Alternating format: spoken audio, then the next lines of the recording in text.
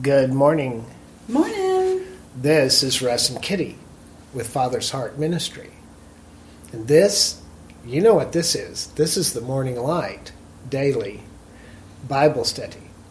And I just want to say this morning, as you join the broadcast, peace be unto you. Amen.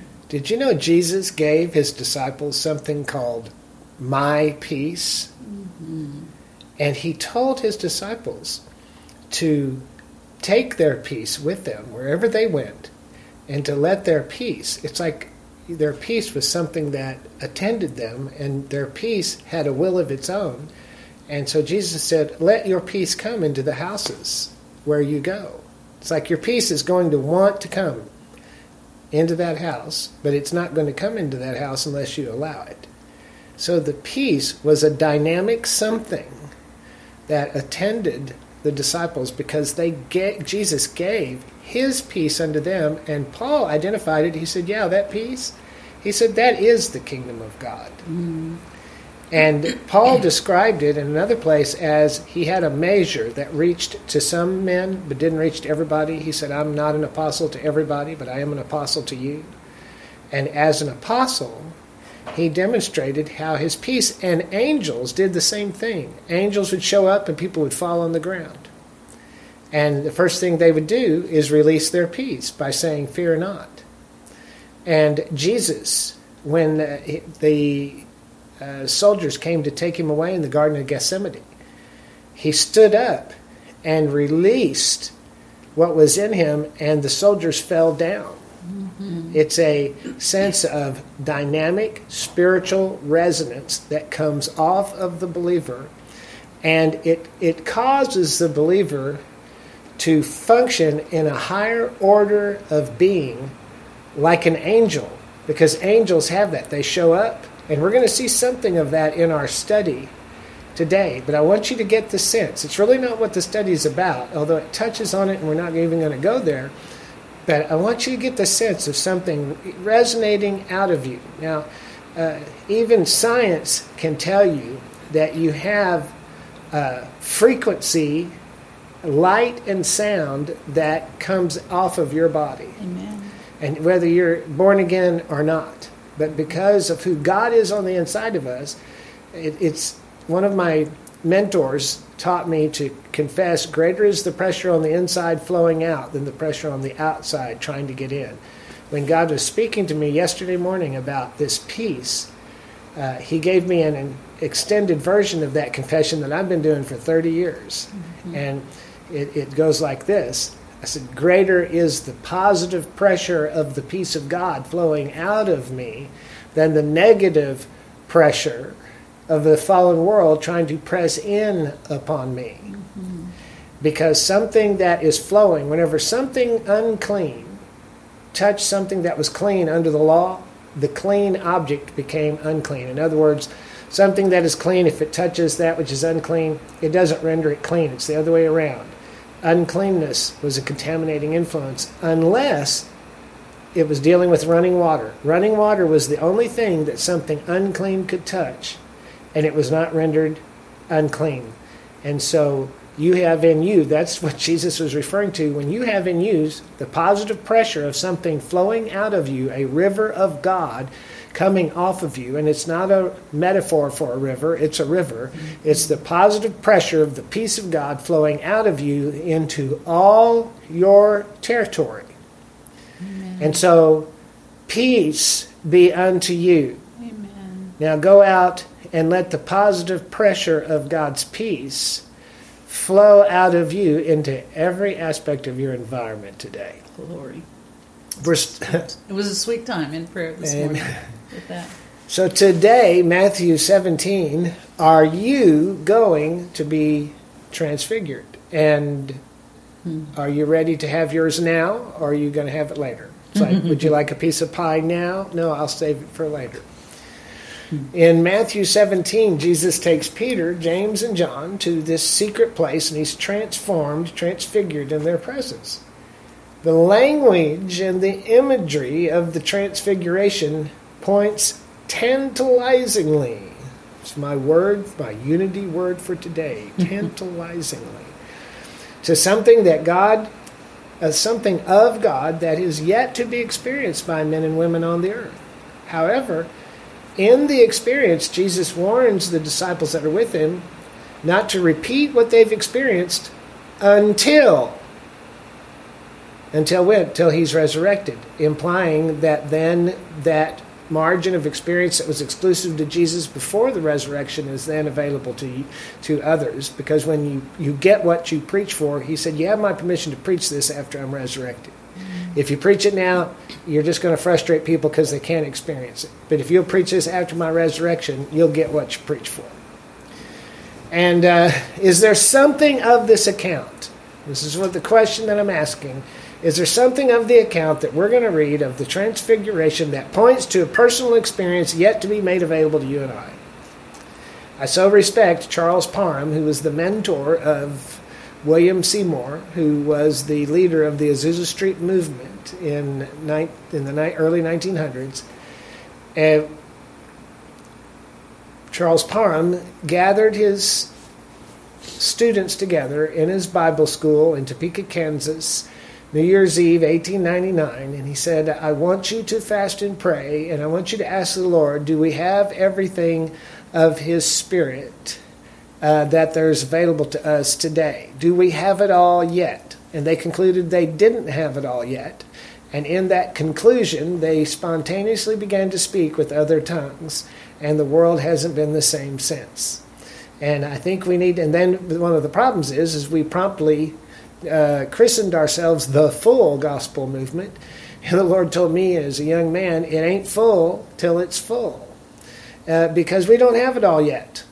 Just because we speak in tongues, you know, the, the cessationist denominations say, well, when you get born again, you get the baptism of the Holy Ghost and fire. You got it all. And the full gospel, charismatic, Pentecostal, prophetic people, tongue talking people say, au contraire. You got born again when you received Jesus as your Savior, but now you need this second blessing called the baptism of the Holy Ghost. But then when they got that, they promptly said, and that's it, we got it all yet. But the Spirit of God is saying, au contraire, there is yet mm-hmm. something of my Spirit available to men and women walking around in their mortality upon the earth that they have yet to experience that is available to those that reach out and appropriate it by faith, and I'll take mine now. Amen. We've got a whole book on it called Enochian Walks with God. It's available on Amazon. If, that, if this fires you up, you need to go get that book mm. and implement that in your life. Baptism of fire. Be sure and post pictures on Facebook when you get transfigured. so, Matthew chapter 17. Those of you that are new to the broadcast, think this guy's out of his mind. No. Those of you who've been with us for a while saying, oh, goody, we're going to talk about that again. verse 1 through verse 13 of Matthew 17, please. Okay, 13. After and after day, six days, Jesus taketh Peter, James, and John, his brother, and bringeth them up into a high mountain apart, and was transfigured before them, and his face did shine as the sun, and his raiment was white as the light. And behold, there appeared unto them Moses and Elias talking with him. Then answered Peter and said unto Jesus, Lord, it is good for us to be here. If thou wilt, let us make thee three tabernacles, one for thee, one for Moses, and one for Elias. While he yet spake, behold, a bright cloud overshadowed them, and behold, a voice out of the cloud, which said, This is my beloved Son, in whom I am well pleased. Hear ye him. And when the disciples heard it, they fell on their face, and they were sore afraid. And Jesus came and touched them, and said, Arise, and be not afraid. And when they had lifted up their eyes, they saw no man, save only Jesus. And as they came down from the mountain, Jesus charged them, saying, Tell the vision to no man, until the Son of Man be risen again from the dead. And the disciples asked him, saying, Why then say the scribes that Elias must come first? And Jesus answered and said unto them, Elias truly shall come first and restore all things. But I say unto you that Elias is come already, and they knew him not, but have done unto him whatsoever they listed. Likewise shall the Son of Man suffer, Son of Man suffer of them. Then the disciples understood that he spake unto them of John the Baptist. Now, just a little funny here. Uh, the ultra conservative Pentecostal people, of which I have a strong vein of that in my upbringing, you know, they don't believe in watching television.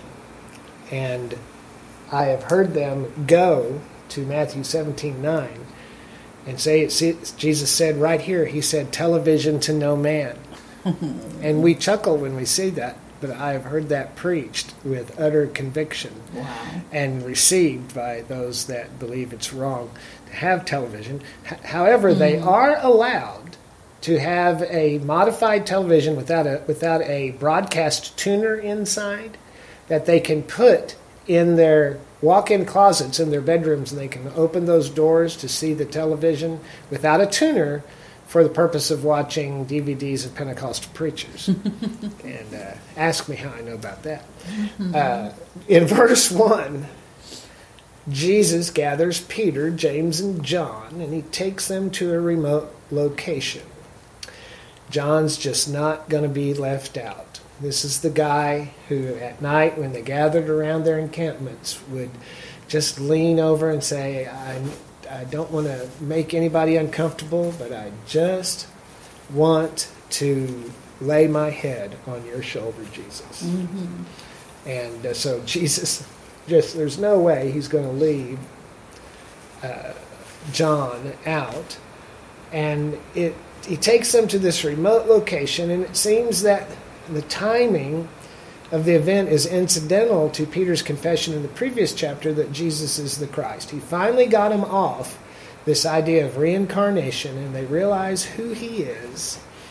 And uh, now Jesus, then it's almost like he says, All right, then, we've cleared that up. Yes, we've cleared that up. Okay, you three, come with me. And they go up into the mountain as he prepares to make himself known to these three, his inner circle, in a profound and remarkable way. In verse 2, after he cloisters them away from prying eyes, Jesus is transfigured before them. Now, what does this mean?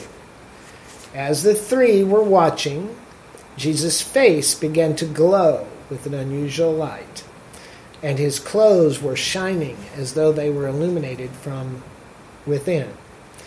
And that's very interesting because Jesus said at a later time, He said, Everything that I've received of my Father give I unto you.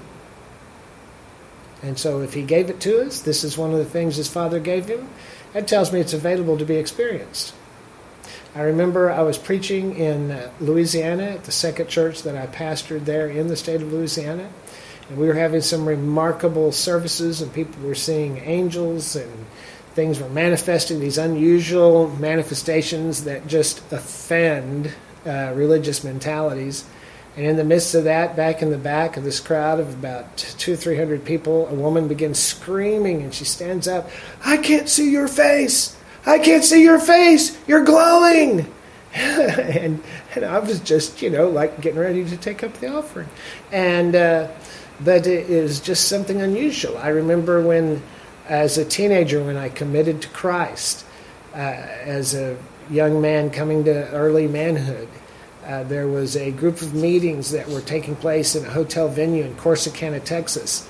And my unsaved friend, who didn't believe in any of this, happened into one of those meetings and he walked in and there was a pillar of fire in the corner there were two angels standing uh, at the front of the meeting and the guy that was preaching looked like he was like johnny flame of the fantastic 4 and he ran out of there and he knew i had a background in that he wanted me to explain that. He says well come on come come with me. I wasn't about to go there. I was a good old assembly god boy and i couldn't find that in the 16 tenets of faith.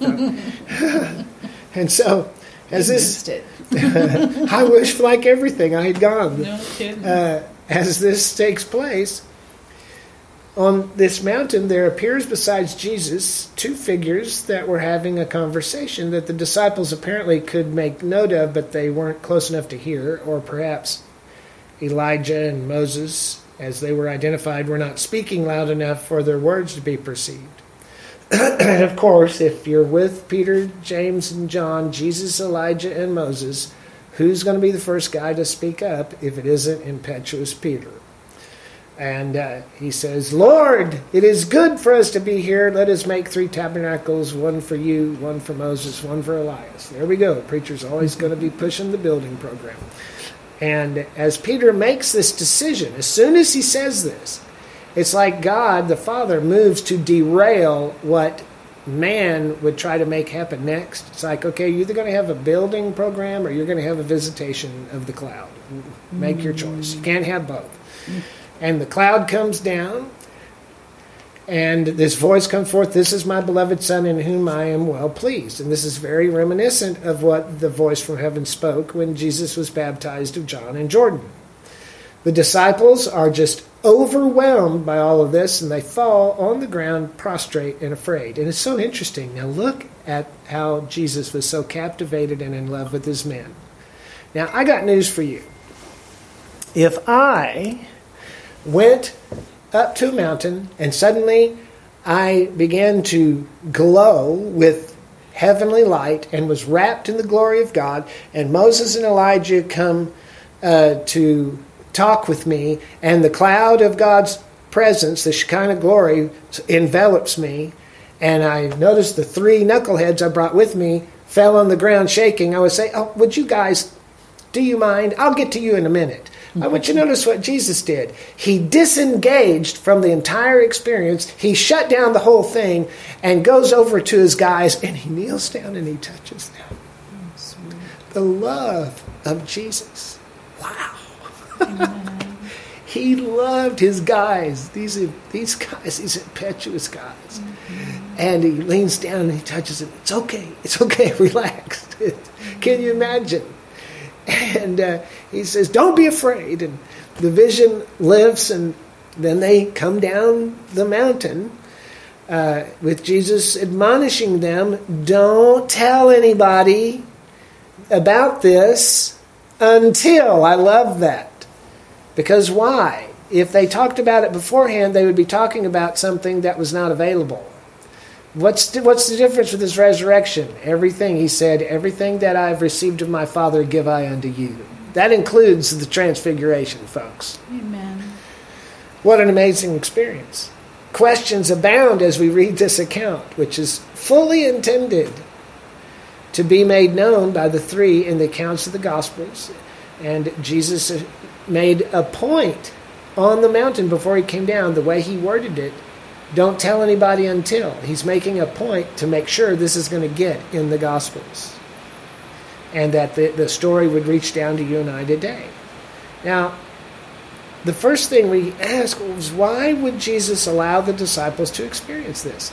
I submit to you, I think this happened many times with Jesus because it was his habit to go get by himself mm-hmm. all the time. Mm-hmm. He went off by himself to pray consistently. And so I, I, honestly believe that this is not something that just came on him. I believe it's something he invoked, just like we pray in tongues. We can invoke something as powerful as the baptism of the Holy Ghost. After that, we can then do it by, at will. I believe Jesus did the same thing. I believe he invoked this. He opened a portal. He opened a personal portal to the glory, to the presence of the Father. And uh, and it's interesting is ask why Jesus would allow the disciples to see this. Does this transfiguration have any implications for anyone other than Jesus himself? The Apostle Paul, who heard things that were not lawful to be uttered when he visited heaven, he made these remarks that were very familiar in description to this account. Paul was specifically pointing to an experience that was available to the saints. And he didn't just put it in some ethereal atmosphere after we die and go sit on a fleecy white cloud and play our harps. Mm-hmm. Listen to what he said in 1 Corinthians 15 51 through 57. I, I want to read it. Now, behold, I show you a mystery. We're not all going to sleep. In other words, don't think you got to die to get what I'm fixing to talk about. But we shall all be changed. You can be changed. What you think's going to happen after you die, he said, you can get it now. You can experience it now. You will be changed in a moment in the twinkling of an eye at the last trump, for the trump will sound. You have to understand about the trumpet. The Jewish idea of the trumpet, they believed that the shofar, when they would take a shofar, it had to have a rabbinically approved curvature in order to make a particular sound because they believed that the sound that a rabbinically approved shofar made with a particular curvature was the exact sound that God made when he breathed into Adam. So when we think of the trump, we're talking about something of God breathing into us, and man becomes a living something. And so at the last trump, the dead shall be raised incorruptible, and we shall be changed. For this corruption shall put on incorruption, and this mortal shall put on immortality. So when this corruptible shall put on incorruption, and this mortal shall put on immortality, isn't that what Jesus did? See, he was immortal, but he was not eternal in the sense that he went and laid down his life on the cross. Just because you put on immortality doesn't mean you can't go by way of the grave. Paul the apostle figured that out. He said, "I could go or I could stay. I could uh, I could lay my life down or I could stick around."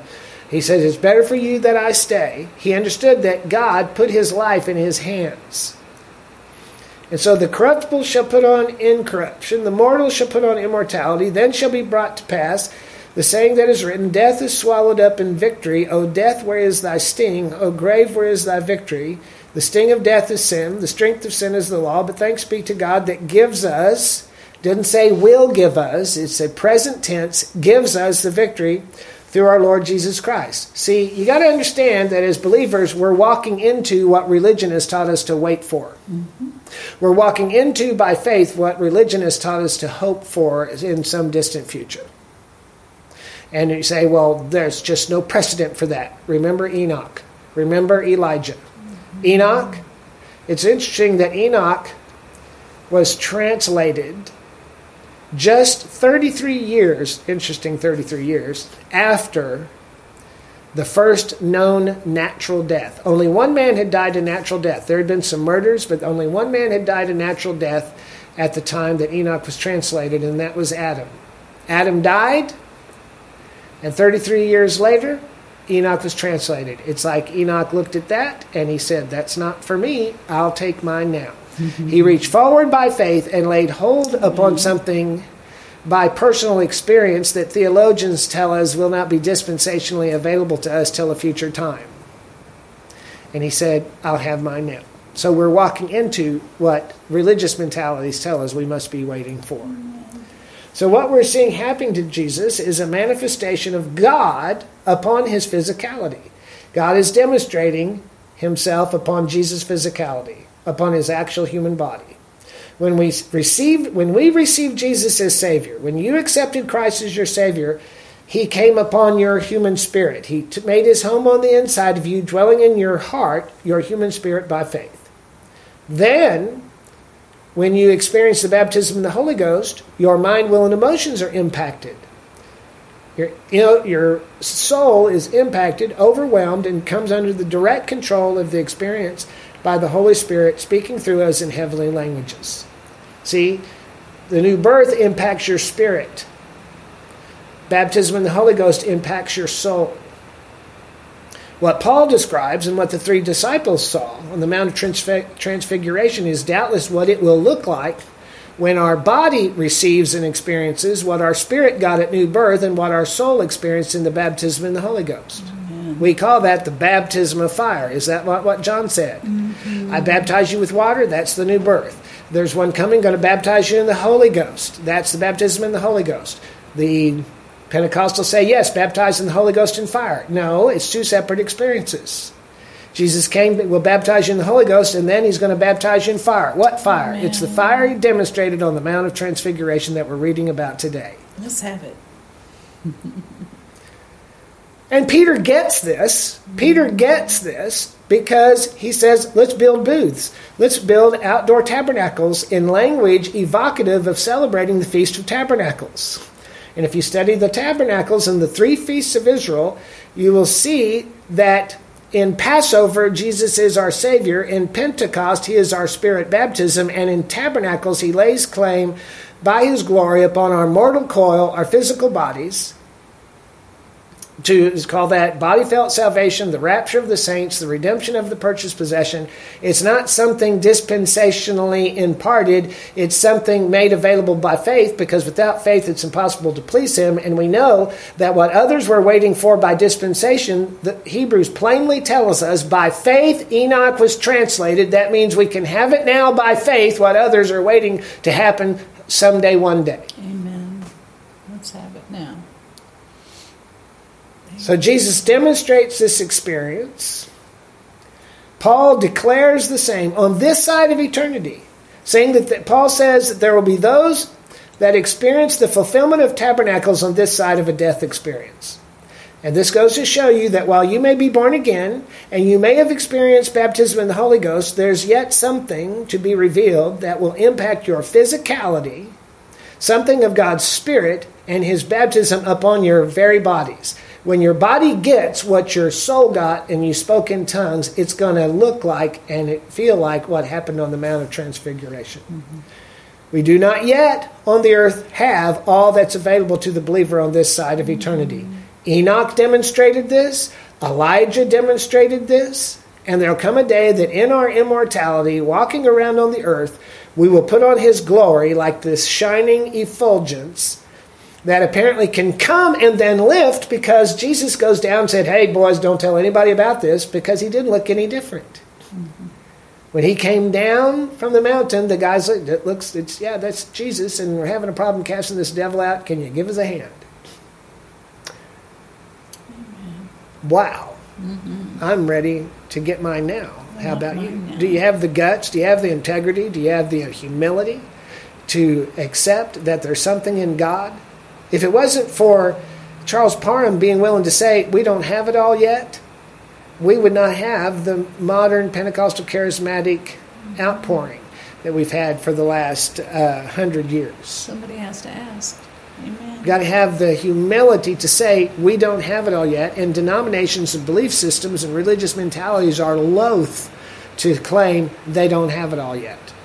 It's like God told me when I was in my 20s, just beginning to pastor, full gospel. God whispered to me, said, It ain't full till it's full.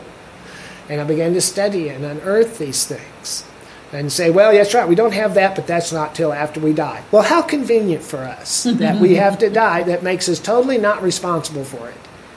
But Enoch got it by faith. By faith, Enoch was translated. Hello.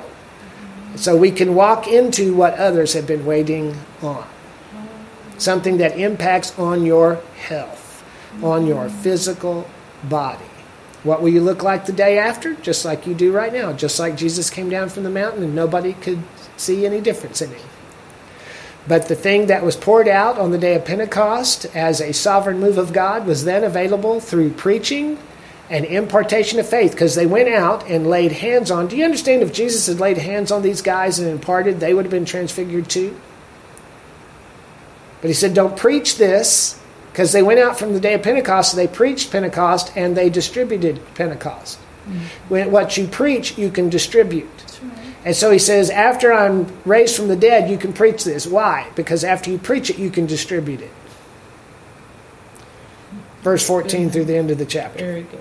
It always gets. It my, doesn't matter. The, fire in my belly always heats up. it doesn't matter if anybody's experiencing this because we're not preaching experience. We're preaching the word of God. Amen. Okay, verse fourteen. And when they were come to the multitude, there came to him a certain man kneeling down to him and saying, Lord, have mercy on my son, for he is a lunatic and sore vexed. For oft times he falleth into the fire and off into the water. And I brought him to thy disciples, and they could not cure him. Then Jesus answered and said, O faithless and perverse generation, how long shall I be with you? How long shall I suffer you? Bring him bring him hither to me. And Jesus rebuked the devil, and he departed out of him, and the child was cured from that very hour. Then came the disciples to Jesus apart and said, Why could we not cast him out? And Jesus said unto them, Because of your unbelief. For verily I say unto you, if you have faith as a grain of mustard seed, you shall say to this mountain, Remove hence to yonder place, and it shall remove, and nothing shall be impossible unto you. Howbeit this kind goeth not out but by prayer and fasting. And while they abode in Galilee, Jesus said unto them, The Son of Man shall be betrayed into the hands of men, and they shall kill him, and the third day he shall be raised again. And they were exceeding sorry. And when they were come to Capernaum, they that had they that had received tribute money came to Peter and said, Doth not your master pay tribute? Change the subject. Uh, he hath he saith, Yes. And when he is was come into the house, Jesus prevented him, saying, What thinkest thou, Simon? Of whom do the kings of the earth take custom or tribute? Of their own children or of strangers? Peter said unto him, Of strangers. Jesus saith unto him, Then are the children free. Notwithstanding, lest we should offend them, go thou to the sea and cast a hook, and take up the fish that first cometh up. And when thou hast opened his mouth, thou shalt find a piece of money.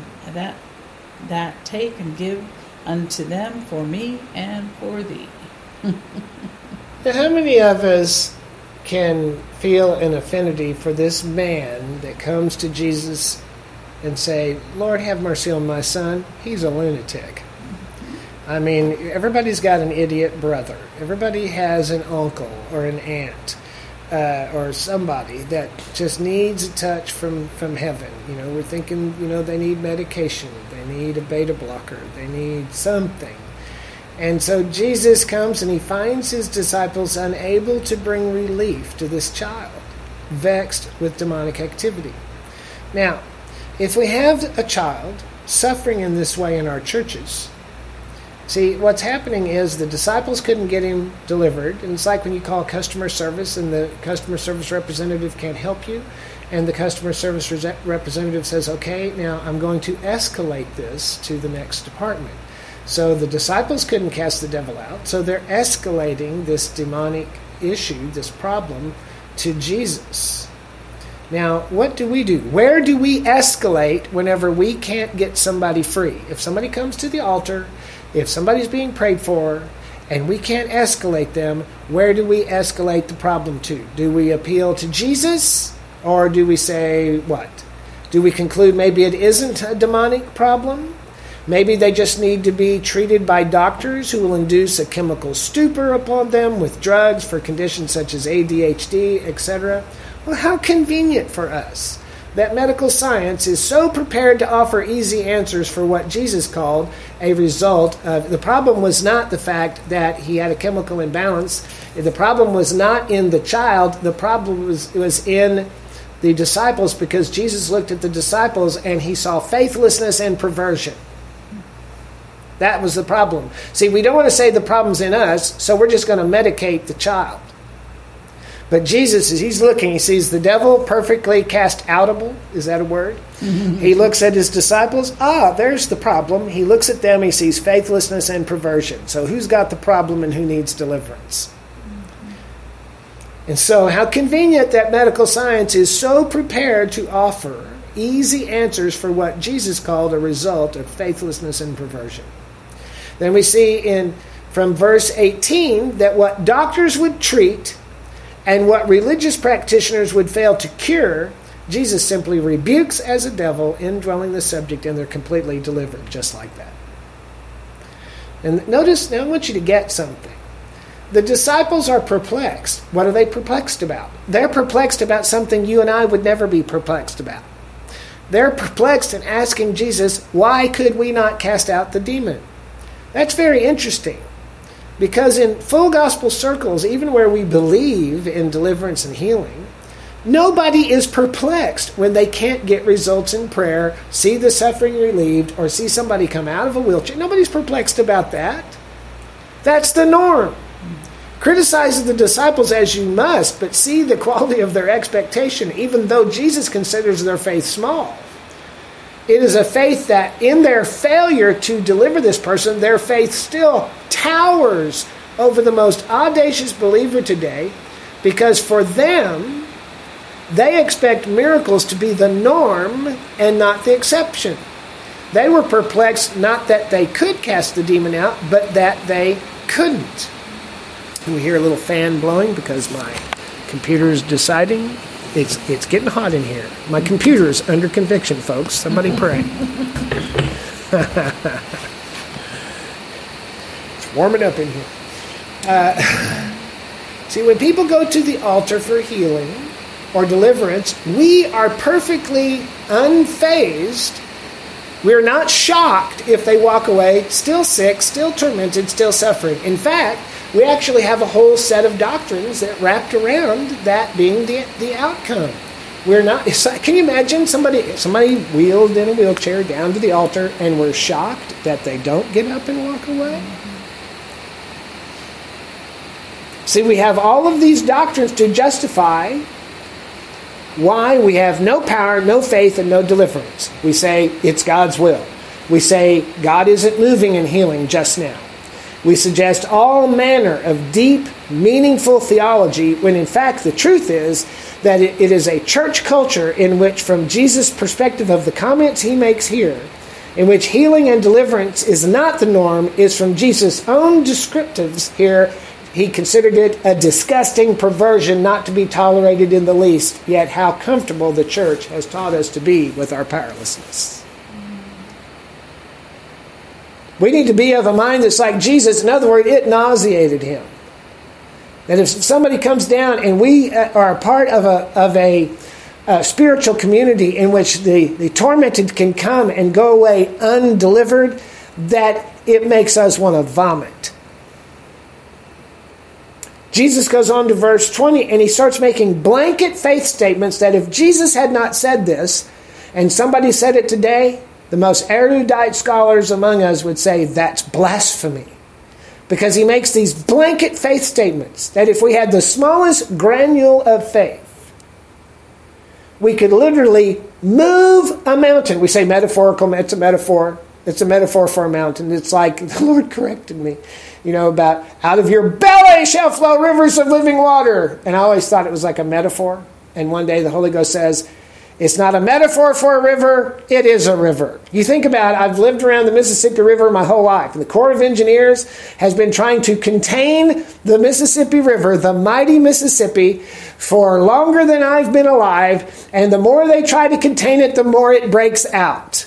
That you've got something coming out of you that is not a metaphor for a river, it is a river. And you'll say to this mountain, Be thou removed, and guess what? Nothing shall be impossible.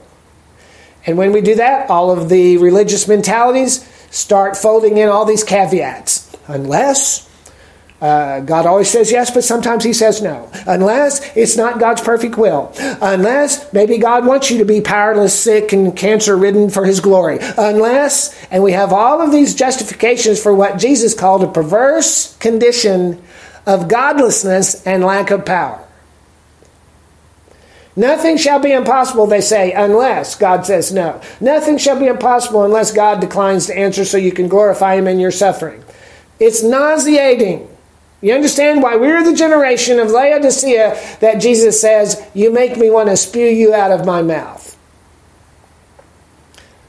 We must accept on face value and make up our minds to accept, listen, the naked faith statement that Jesus is making here and embrace that faith statement as our norm. This is my norm. I will speak to the mountain and it shall be removed. This is my norm. I will lay hands on the quadriplegic and they will walk. This is my norm. I will speak to the dead and they shall raise. This is my norm. If there's a demon inside of me, he will manifest and be cast out just like that. That's my norm and I'm going to be shocked if that's not the case. Amen.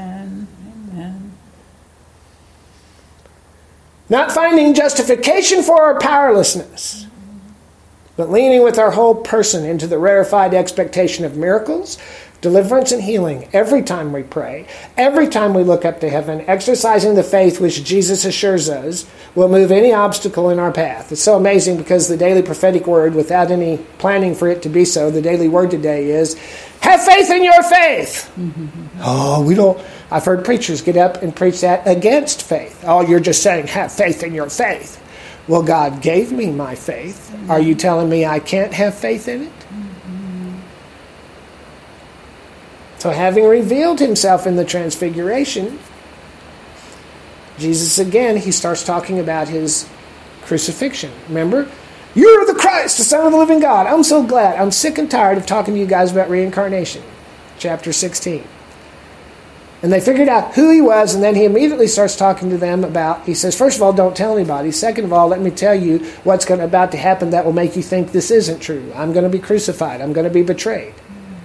So now he's manifested in transfiguration, and immediately he tells them same pattern. Don't talk about it, and then he starts telling them the exact opposite things that are about to happen.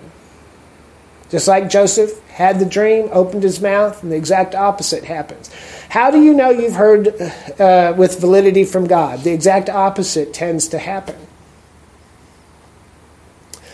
And so, even though the, he told the three on the mount that he'd be resurrected, that's not remembered because notice what it said they were exceedingly heavy hearted. Well, hold on just a minute. Did, did Jesus not say he was going to be crucified and raised again? when he was coming down out of the mountain we told him, Don't tell anybody till after he was raised from the dead? Why wasn't Peter, uh, impetuous Peter, saying, uh, when the soldiers showed up at the at uh, Gethsemane, and how come Peter didn't stand up, start rubbing his hands? I can't wait to see this. Can I come? Can I come, Jesus? Can I watch? I just can't wait to see what you're about to do when you come out of the grave. See, but they weren't listening. We often don't listen. So then they take leave of this multitude, and Jesus returns to Capernaum, which is his adult hometown, where Peter all of a sudden is concerned about paying taxes that are now due. And Jesus takes occasion to speak to Peter about his citizenship in the kingdom and tells him, Cast a hook into the sea, and he does, and he gets a fish, and there's a coin in the fish's mouth. See, everybody wants a financial blessing, nobody wants to cast a hook into the sea. Mm-hmm. You got to understand, he has a Holy Ghost aquarium all around you full of fish with gold coins in their mouth. And we're sitting back and we you know we haven't even reached for our tackle box and saying, Oh God, I can't pay these bills. Help me, Jesus. He said, Hey, hey, look at me, listen to me, listen to the words coming out of my mouth. Go cast a hook into the sea. Are you listening? You need to begin, you need to know that there's a fish with a gold coin in his mouth, just waiting to spit it out into the palm of your hand whenever you induce the corresponding action that was required by Jesus of Peter that caused not only, and you get it when it comes from God, it not only takes care of your need, but it takes care of Jesus' need. You see the principle? Is today Friday? Can I take up an offering? I'm just saying, you see, when something comes to you from God, it's not just for you. There's seed for sowing, bread for eating. The bread for eating was the part of that coin that paid Peter's taxes. The seed for sowing was the part that says, oh, by the way, Jesus said, pay my taxes. I think my taxes are due also. Wow, how powerful. So, Father, we thank you. We thank you for your word. We thank you for the baptism of fire. Yes, Lord, we're waiting for the redemption of the purchased possession. Yes, we're here to receive the adjudication of the saints. We're ready to have the body felt salvation, and we'll take ours now. We're saying to you now, it's okay with us if we don't have to cross the threshold of death in order to walk into our immortality now that we're here to receive now what you made available, what you manifested, what you demonstrated on the runway of Holy Ghost fashion on the Mount of Transfiguration. You modeled something for us, and we're ready for the cloud. We're ready for the glory. We want it to be upon us, Father God, in the name of Jesus. And yes, it's okay if Elijah and Moses want to come down and ratify and sign our baptism certificate because, oh God, we'll take ours now, Father, in the name Jesus. God bless you. Send pictures.